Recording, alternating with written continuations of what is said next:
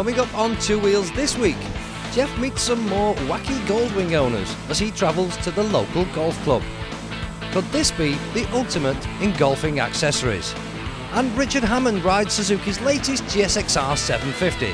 But first, Wayne travels to Burnley for the launch of a brand new bike.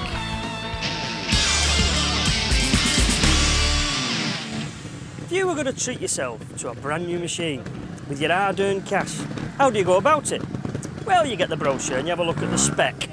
You might ask your mate what he thinks of the bike. You might even read the magazines and see what the journalists think, their opinion. You could even possibly watch Two Wheels and listen to Paul Johnston and Jeff Stone and ask their opinion of what they think of the bike that you fancy. But really, if you had the chance, you'd like to ride one. Well, that opportunity doesn't always arise, but there's a new concept been launched by these people, Montesa, where you can actually have a ride before you buy.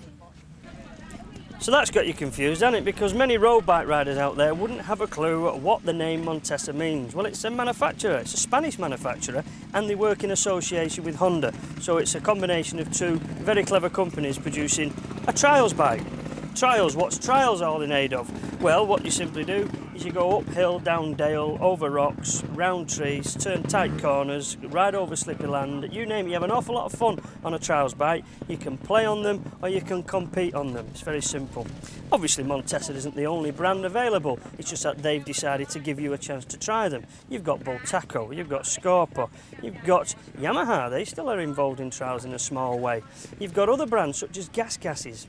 Strange names, aren't they? Matters not. They're all very, very special machines, designed and built to do a very good job. And I suppose you might as well have a look at how the job's done.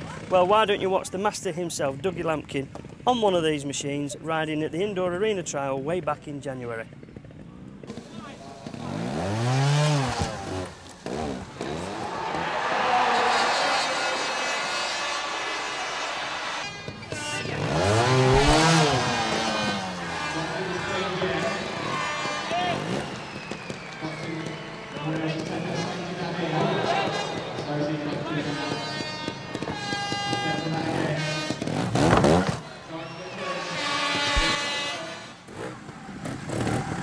Yeah, Lee, come here, mate. Come and pull up here. Yeah, nice one. Lee, tell me a bit about this now. You've had the opportunity of riding one of these Montesas. Is this the first time you've been on one, one of these Montesas? New one, yeah. New one, yeah, because this is the like the 2001 version, isn't it? So I suppose it's uh, uh, a great opportunity to ride one before they're really available. Um, what bike do you ride as we speak now then? What's your current machine? Gas gas. Gas gas. Is it because you fancy trying something out, different, or, or what? Yeah. Yeah, yeah. Have any of your mates got alternative bikes? Do you keep trying each other's bikes? Yeah, Fens at shop. Yeah, yeah, yeah. Yeah. And then uh, so so you get a chance to try all different makes, and that's why you've come here to have a dabble on this. Yeah. Mhm. You said shop. Why do you work in a shop? Uh, I help out at B&B's at Royston. Right. And so so therefore, and they're trials shop. Yeah. So you get every opportunity to, to have a go at a, a trials bike there. But luckily, by coming here, get a chance also to have a go on a new machine. Yeah. So, are we uh, expecting Lear to be uh, a world champion, Dougie Lampkin at your art out there? Is, is that your next is that potential?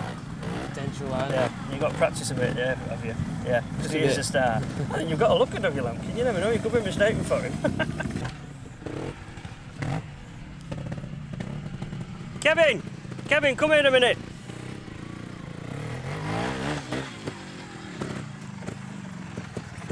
How you doing, mate? All right. All right. Listen, I can tell from the way you're riding this bike that you're just not new to this. You've obviously done this before. Yeah.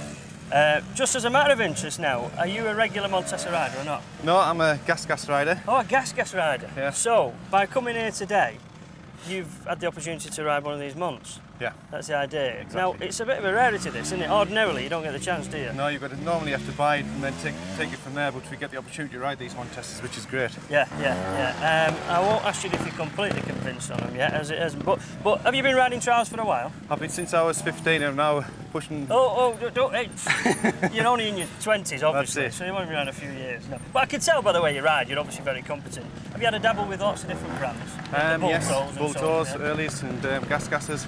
Had a Beta, Yeah, yeah. and then the Yamaha, the pinky one. Oh yeah, so you've had the whole hit, Yeah. you know, including the air-cooled yams, which is a, a good starter bike. I, I know it is. Um, this is not dissimilar to the likes of what Dougie Lampkin uses in World Trials.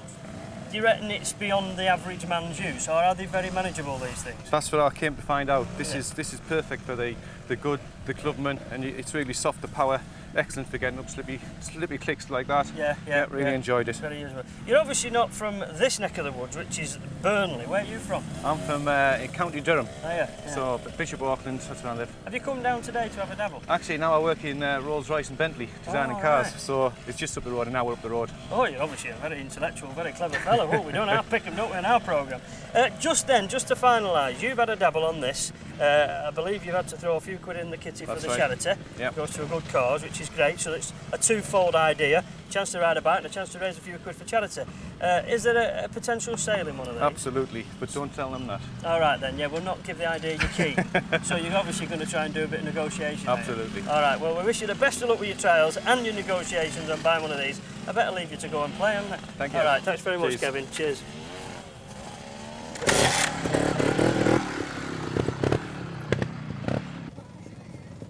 Then we've just got a bit of a queue going, but it'll be number two bike and it won't be very long. No problem, thanks a lot. Thank you. All right, thanks very much. Thanks Thank you.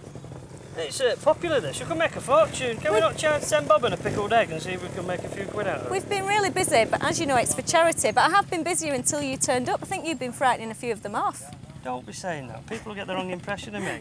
It's the kids that don't want to come near me. I don't That- know why. is that what it is? Yeah, they're frightened. Yeah. So just run this by us then.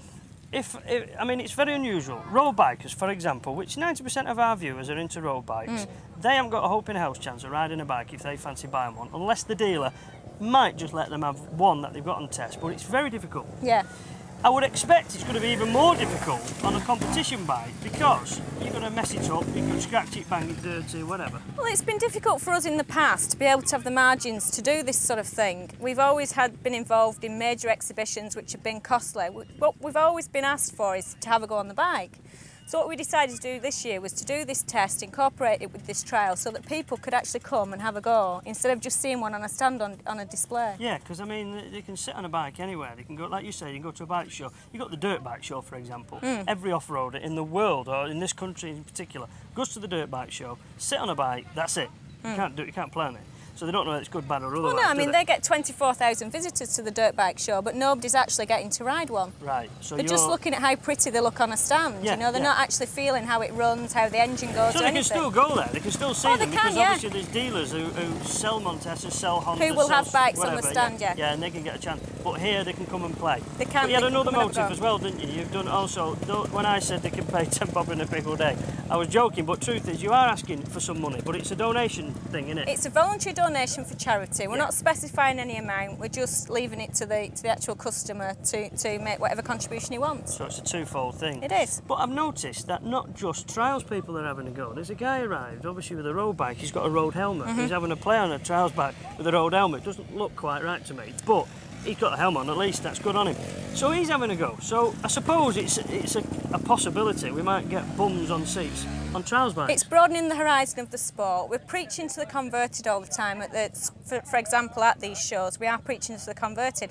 We've advertised this through our own premises, we've advertised it locally, and we've advertised it nationally. So we're hoping to get a whole spectrum of people, not people that have just ridden before or people that have already got bikes, but people that want to have a go. It's a, it's a great idea. Presume you'll do it in the future, will you? I'm, I'm, I'm very pleased with the way it's gone so far today. This is obviously our first attempt, and I'm chuffed to bits with the way it's gone. So I can see no reason not to make it an annual event. I'm led to believe, though, that you're not so picky and choosy on who has a go. You, you said that you're quite happy to let everybody have a go. Why is it then I was refused? Because I've seen you ride before. Uh, Are you trying to say something? You're 'cause- only all right when you've got one of those chairs on the side, haven't you? I have been well known for wanting always that little bit on the side. Yeah, all three right wheels though. I meant. Yes, of course. Of too. course, of course. Well, look at this. Maybe Wayne did actually get a ride. Find out later.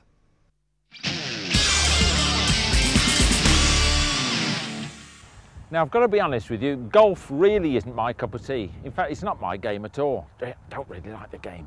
But one of the problems that you do have, and they often do this in car road tests, is when you come to your car, you open the boot, and you think, can I get a set of golf clubs in? I can't. But what about if you're a keen biker?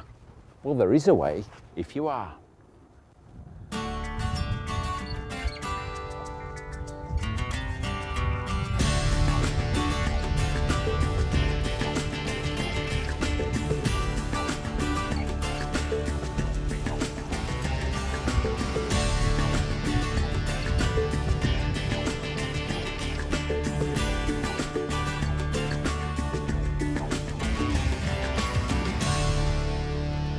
Morning, Ivy. Morning, Jeffrey. How are you doing? Very well. Hi, Eric. Jeff. How are you? I'm all right. Have you had a good game? Oh, don't you start, don't I've you heard start. about your games. Have you- on the golf course as well. Uh, yeah. Now look, uh, we did a little bit of a setup here because on the back of your bike you've got some golf clubs that look remarkably like mine. Well, Yeah. I know yeah. you've not got your own set, really. But we mustn't let the cat out of the bag, No. or is that golf out of the bag, or Something we'll, like we'll forget that. all that. But Eric, tell me, what have you done with, with this two sets of golf clubs? Come around the back and tell us what's what. Well, as you know, the Gold Wingers are uh, sort of renowned for putting crazy things on the back of the bikes. They have trailers and uh, ice boxes and all sorts of lights and toys. Yeah. And uh, about three years ago, I got into golf, and it took all my spare time. So I didn't have any time to ride my bike. So I thought, let's combine the two. Two. So we built this contraption to go on the back of the wing. So now we go on the bike and play golf. So one set's yours and the other set's Ivy's? Yeah. Yeah. So you combine all sports in one. Sorry, I, I didn't mean you, but I mean eh, every, So to speak. so to speak. So look, you're um, a Goldwing enthusiast. Yeah. Owning Goldwing International. There's Right. a, little plug for you. Yeah. But and you're used to the sort of culture of Goldwings, Yeah. and, and as you were saying, this is unusual because I haven't seen golf clubs before, but the trailers and all the rest Yeah. of the rigmarole. Yeah. Tell us a bit more about the sort of the culture of the wing then, because you've really got into it, haven't you? And you import all this sort of special gear. I mean, what's your favourite toy? Oh, this one now. Is it? Yeah, the golf accessory. Yeah. Yeah, the Goldwing has got to be the ultimate golf accessory. As if gold wings weren't sad enough in the first place. exactly, Golf yeah. as well.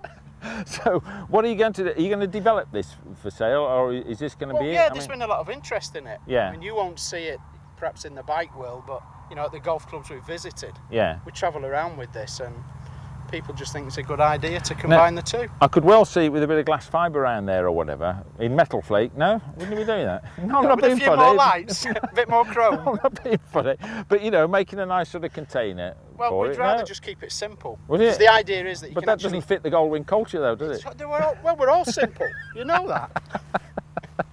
All right. I got Dave. that in before you. yeah, yeah. So keep it simple, and that's the essence of So it. So the idea is you could take it off much like a trailer. Yeah. You, know, you could take all this attachment off Yeah. in maybe five minutes Yeah, and just back to a normal bike. that's right. And so you don't have to pretend you've got these um, these two sports. That's right. So if you don't want to be that sad that you're going to take your golf clubs with you, Excellent. Well, look, I think what I better do because rain clouds are gathering somewhat, aren't they? And you've actually come for a game of golf, all playing a part. This is it. You're going to have a Yeah. actual go. Yeah. And, uh, you're going to show me which end of the club I should hold. well, someone said, "Get that muck off the end of the club," yes. and when I looked at you, I said, "No, the other end." And after the break, there's more from Wayne in Burnley and Richard rides a GSXR 750.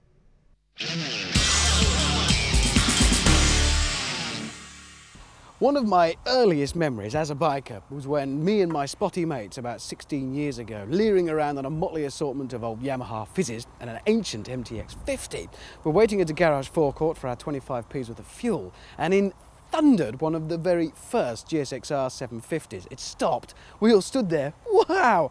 And off clambered this little ancient man. He must have been 95 and we couldn't believe it. Heartbroken. But it does go to show the status of the bike then, and it still has that now. 16 years later, it's still around, and this is the latest. Comparing it with the bike I saw back then, the biggest difference is, well, now it's pretty. Back then, it was hideous. Slab-sided with a great snub flat nose to it and the tank sitting on top of that ridiculously old-fashioned frame, old-fashioned even then. But now, and for the first time, the GSXR really, really is a very pretty bike. Right from its pointy nose to its little gathered up tail, Gone is the hideous seat hump that used to cover the pillion seat on the previous version to replace by a much finer, neater, more tapered tail. And here's another huge difference compared with the bike back then. It's light, the thing weighs nothing, about the same as a 600, which with the power it's got, can mean only one thing, fun, and plenty of it. Ten years after I first saw that little old man tottering off his, I managed to buy one, scraping together enough bank loans, overdraft, and crippling finance deals to buy a WP model in 1994. I loved it, but compared to this, it felt like a bus. Who's got a pretty little face then? Well, it has compared to the last one, which always looked kind of like it had been chasing parked cars. This is far more pert and pretty. These air intakes contribute to the gorgeous sound at speed as the air rushes through the, the intakes, the carbon fibre effect intakes at the side of the fairing. Down here, the brakes, well, they've been changed. Last year's model was six pots at the front, now it's just two two-piston calipers, four in all. It's lighter than before, but perhaps you'd use a bit of the immediacy, but they do stop you. Working our way back, well, we've got the engine. They reckon about 4% more power than the previous model, and it's a hell of a lot lighter. And although overall the bike is actually longer than last year, the frame itself is shorter. The extra length comes in the gorgeous swing arm. Climbing aboard, well, you've still got the same rather extreme feet up jockey riding position that you'd expect to find, but it's not that extreme. The bars are direct in front of you. It is short, straight down to the wheel at a very steep rake. And then in front of me, I've got one analog dial for the rev counter, nice and big, and one nice, neat digital little speedo. All very purposeful. As you'd expect with any modern three-quarter litre superbike, most of the power is available above 7,500 revs. Below that, there's very little to it. In fact, if you were around Stoke-on-Trent recently, you might have seen me on it. I was the guy who stalled at the lights, got the revs up, and then pretty much wheeled away. And that tends to be what happens until you've got used to it. Once you have got used to it, it is glorious. That lightweight makes itself felt, or not felt more to the point, combined with plenty of power, as long as you're in the right gear and in the right part of the rev range. Braking, stopping and accelerating are all performed beautifully, thank you very much. Like so many superbikes of the moment, it's an intriguing combination of precision and accuracy together with brute force, both of which it has in huge supplies. If your mates are all roaring around on blades and R1s, don't worry. If you're any kind of rider, you will be keeping up with them, no problem, thank you. On a track, well, it might lose, but don't forget, it's 750. It's not one litre. In the end, when the payments became too much, like so many before me, I had to sell my GSXR in midwinter and at a crippling loss. This new one, though, will set you back about £7,500 straight from the showroom, but as always, the advice is don't just go straight out to the dealer and hand over your hard-earned. Shop around, haggle. You can pick up an ex-demonstrator like this one with about 400 miles on the clock for 7,100. No, get off, it's mine! I found this one fair and square, and I'm not letting it happen to me again. You stay with me, don't you worry. No! Get off! We won't be parted, don't worry. It's happened once, it's not going to happen again.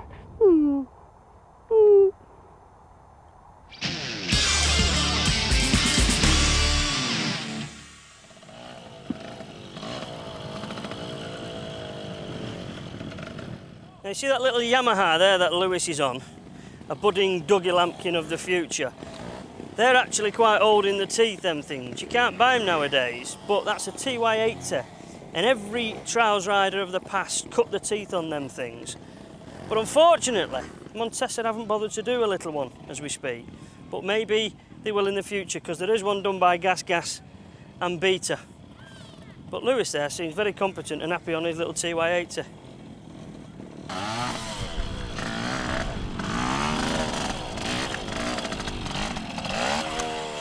Now I'm joined with Andrew Thompson here, who in actual fact isn't a trials rider. In fact, you just like having a play on the field uh, on a, a, bit of a rough bike, don't you, Andrew? So, what's it like having the chance to stick your bum, or at least in this case, you stand up on a, on a world-class trials machine? It's brilliant. It's yeah. great having the chance to do it. It's a one-off thing. Yeah, because normally you can't, can you? You can't exactly go no. in a shop, can you, and say, "Give it a go, Mister." Yeah. get a chance. So you like the idea? Yeah, brilliant. what have you done? Have you put a couple of quid in the, the charity yeah. donation box yeah. and then go? Are you into trails in particular, or do you fancy bikes in general? Oh yeah, I like bikes, but um, into trials is probably my best. Yeah, yeah. So do you follow the boys, the likes of Dougie Lampkin and that? Uh, yeah, I've got a few videos. Have that, you? Yeah. yeah. Mm. Um, what do you think of the bike then? It's brilliant. Up to your standard then, is it? Oh yeah. Yeah. It's so amazing. if you won the lottery tomorrow, then what would you spend your money on? Oh, I'd definitely get one of these. Would you? Yeah. yeah. And I suppose you treat yourself to a big super bike and yourself yeah. to a uh, crosser. A crosser, yeah. yeah. and whatever else you can get your money on. Yep. Uh, you're not old enough yet, then, are you, for the road? No. No. But no. if you, you're going to get a road bike in the future. Yeah. Do you reckon, just as a matter of interest, do you reckon that having a ride on the likes of a trials bike on the rough helps you for the future for riding a road bike? Yeah, because uh, you're learning to control the bike. Yeah, more. yeah. yeah. And getting the funny feeling, balance the, the, yeah, the Mm. balance, and all the funny feelings of the front wheel slipping away and all Yeah, that in the mud. yeah. I suppose it's uh, it's a bit cheaper falling off a borrowed bike, Yep. if you should fall off, a borrowed bike rather than a road bike when you do treat yourself to one. Right, I've got Mike here, who actually I've been watching him and he's definitely a trials rider. You can tell. You've got the, the style, the knack. Although you don't look like you've got proper trials gear on. You. You're obviously not a poser. No, I'm not. But nonetheless, you've got the right gear in respect. You've got a thing on your head and you've got your boots on. That'll do nicely. So, just just let's go by this. Do you like these here new Montesas? Certainly do. And do you feel you're qualified to comment? Because I know already the fact that you've actually had just about every trials bike in the world. That's it. So you've had all the different brands, your gas gases and everything, BT Yam. Have you had the old Yams or not? Have you tried I've them had out? uh, early TY thinkers, I've Yeah. had TYs then. Yeah. So the so our viewer knows because regular viewers are more road bike lads. TYZ is the water cool Yamaha trials bike, and the pinky is because they did do it in pink, didn't they? Which Well, is it. really not a boy's colour, but nonetheless. Um, so what do you think of this baby anyway? Bob on. You like it? I can't fault it. So there we have it. It's a new idea, is that? A new concept on have a go before you buy. Not a bad idea, and I think it should catch on. Maybe all the other brands might just allow that in the future.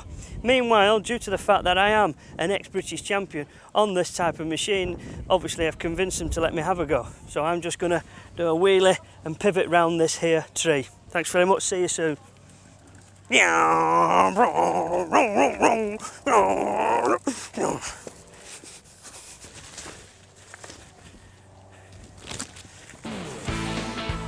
And coming up on Two Wheels next week, I take a ride on Ducati's 600cc Monster Dark. And Wayne is back in Yorkshire for more advice for lady bikers thinking about new helmets, boots and gloves.